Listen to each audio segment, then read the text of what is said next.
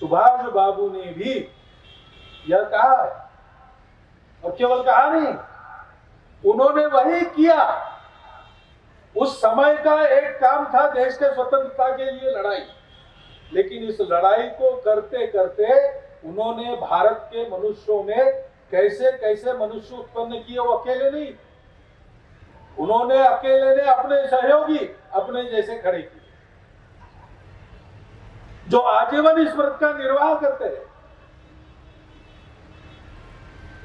एक दीप से जला, दूसरा जलते, दीप अनेक ऐसे उनके आज़ाद हिंद फौज की अवस्था होगी। ऐसे उनके स्वातंत्र के संघर्ष की ज्योति सबके हृदय में पन। हमको यही करना है। स्वतंत्रता प्राप्त हुई उसमें स्व का तंत्र लाना। देश की ऐतिहासिक धारा, देश का ऐतिहासिक चिंतन, उसके अनुसार हम सबके जीवन की पुनर्रचना होनी उसके लिए आवश्यक गुणवत्ता और उसके लिए आवश्यक संगठितता, एकात्मता समाज की खड़ी करनी है। ये बहुत बड़ा काम है। देश के लिए मरना था हँसते हँसते बलि चढ़ गए सुभाष बाबू जैसे लोग।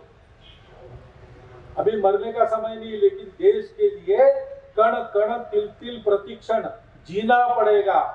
स्वतंत्र हो गए, इसलिए काम पूरा नहीं हुआ। स्वाधीनता आ गई। अब राज्य करने वाला अंग्रेज़ नहीं है। अब हम ही लोग राज्य कर रहे अपने प्रतिनिधियों के द्वारा। लेकिन ऐतिहासिक धारा और चिंतन के अनुसार स्वतंत्र भारत का अपना रूप जो सारी दुनिया के लिए एक मानक बन सके, सुख शांति को प्राप्त करने का नया रास्ता दे सके।